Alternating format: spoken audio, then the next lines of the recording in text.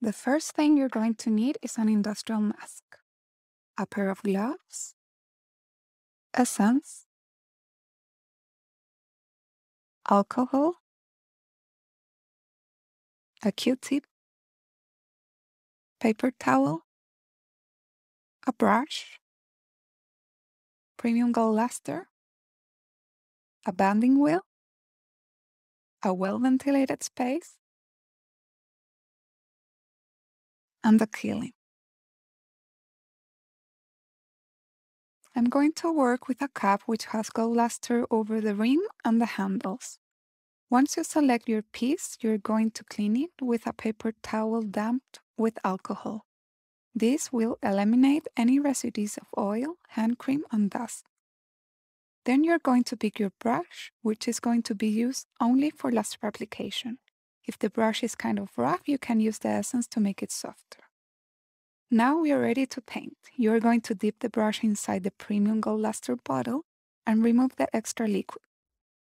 Over time, you will realize exactly the right amount you need.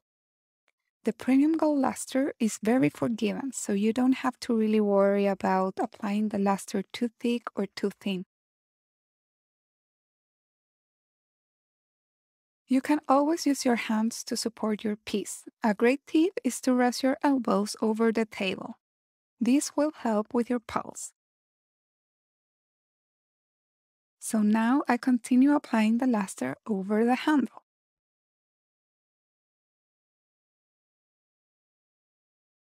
And it's looking really nice.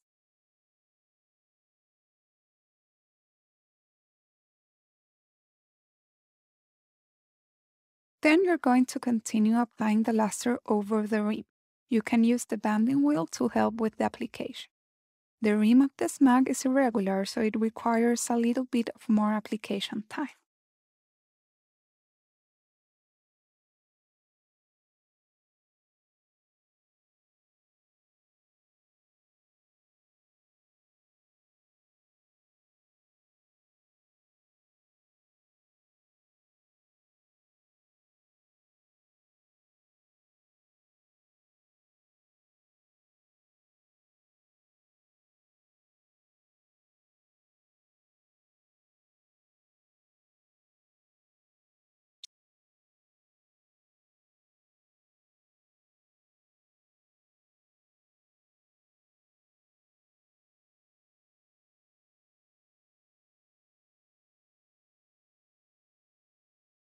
Mm, Great.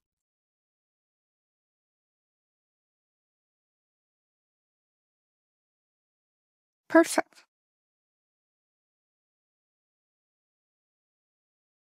Another tip I can share with you is how you can use alcohol to clean any mistakes. So, for example, if you make a small mistake, you can use a Q-tip damp with alcohol. And for a bigger area, you can use uh, the paper towel.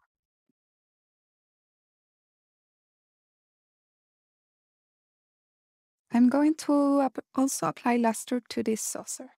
The process is exactly the same, and in this case, the banding wheel is really helpful. As you can see, I can go over the, the gold. I can retouch it. The premium gold luster allows to do that. With the bright gold, like the regular version, I wouldn't recommend doing this.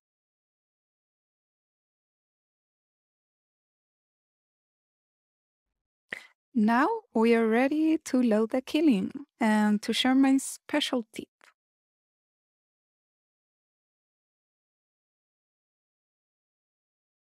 When you load the kiln, your pieces can touch each other. Why?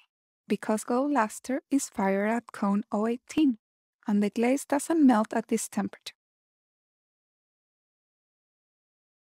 You will still have to use the mask when you load. The smell is going to be very strong.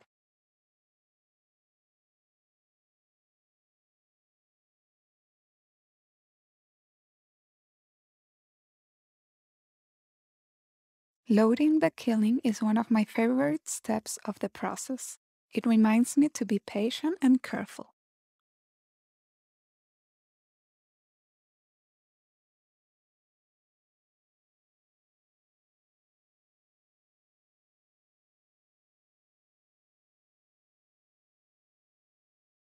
Great, we are almost done.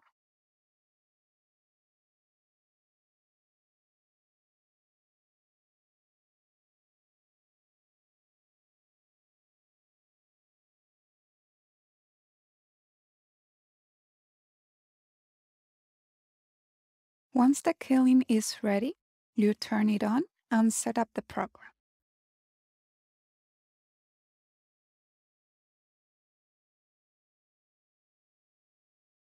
I usually fire to cone 018. This kiln fires hotter, so I program it to cone 019 and hold it for 15 minutes.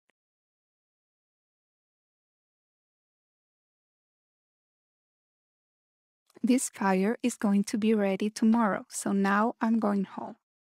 Before leaving the studio, I'll check the program one last time just in case.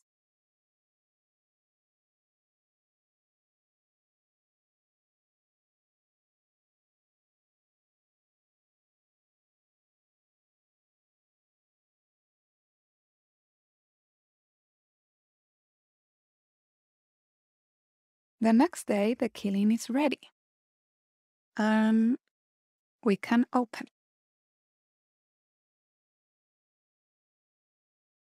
Everything looks beautiful and I'm so happy. Now I'll have to unload the kiln, pack, and start all over again.